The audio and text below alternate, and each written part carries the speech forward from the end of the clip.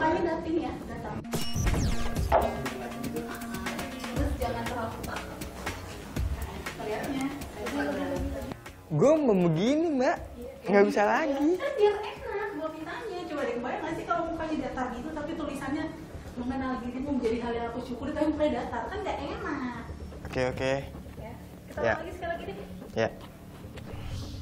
Jujur pada saat pembuatan video itu saya bingung, bingung banget karena saya kaku orangnya mas. Udah coba beberapa kali tapi tetap aja masih salah, salah dan terus salah.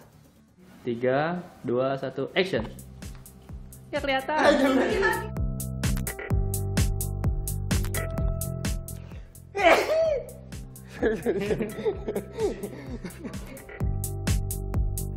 Oke.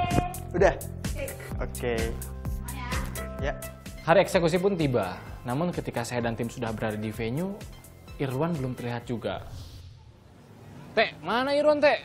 Tahu nih udah jam segini belum datang. Waduh, mau ngelamar nggak dia? Hah? Mau ngelamar nggak? Macet kayaknya deh. Tadi sih udah aku telepon, cuman katanya masih di jalan. Siangan bangunnya kali. Mungkin. Mbak Tessa, Mas Ah, panjang umurnya. Hey? Maaf ya, baik-baik, alhamdulillah. Maaf, maaf. Gimana maaf. siap buat hari ini, Wan? Macet banget. Siap mas, harus siap. Ini Mas? quote-quote-nya mewakili lu nggak nih? Coba lu baca satu-satu deh. Hmm, Quote-quote-nya sih, Ini ya, masih kurang penuh nih. si, ya? ya kayak sepi banget ya. Sepi banget ya. Bantuin yuk. Boleh, Teman-teman boleh. properti. Oke, siap, siap, siap, siap. Yuk, di mana?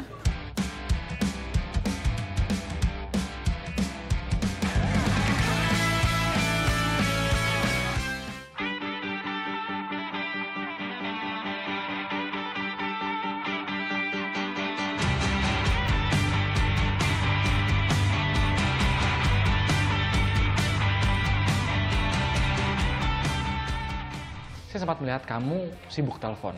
Dari gestur kamu saya bisa melihat kalau kamu ini lagi ada masalah. Dan akhirnya saya memutuskan untuk langsung bertanya kepada kamu.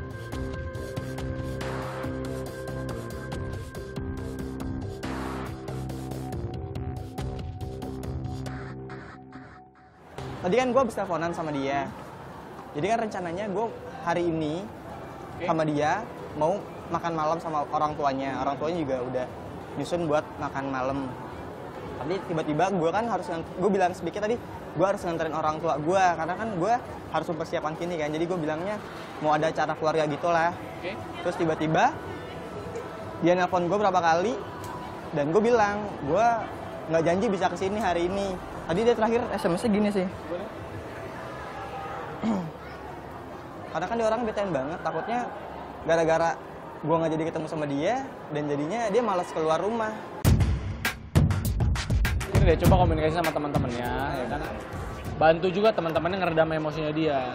Gitu aja. Oke? Yuk. Ketika mencoba latihan radio kontrol, saya agak sedikit hati-hati. Jujur saya takut karena jalurnya yang tidak begitu lebar.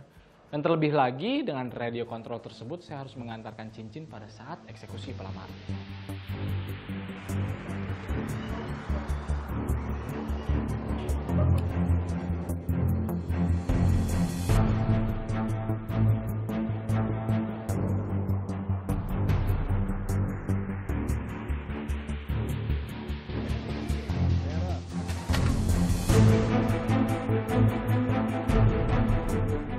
Waktu semakin sore, kemudian keadaan mall pun semakin padat. Akhirnya kami memutuskan untuk melakukan rehearsal sebelum eksekusi lamaran dilakukan. Jadi treatment sore hari ini nanti si Vita akan datang sama temennya. Begitu dia datang, dia akan digiring menuju plasma direction yang ada di dalam mall.